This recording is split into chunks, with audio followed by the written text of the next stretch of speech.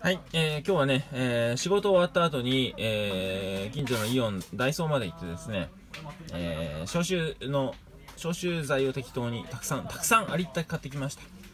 ね、もうちょっといいいいもの？あのー、100均じゃないやつでもいいけどさ、どっちがいいのかわかんないんだけどさ、とりあえずあの、100均でたくさん買ってきてね、そこら中に置いた方がいいかなと思って。あの、はい。まあ、店の中ね、暑くてね、ちょっと臭くなってきたりする時もあるしね、まあ、掃除をしても限界があるかもしれないんで、ちょっとこういうのね、まあ、なんせあの、人がいっぱい来るからね、あの、臭くなっちゃうのを防止するために、こういうのを定期的に買っては、がっつり設置してます。はい。とりあえず今回は、えー、石鹸の香りをまとめて、ソープの香りね、を、えー、で、店の中を埋め尽くそうと思っています。はい。まあ、ちょっとそんな感じです。では。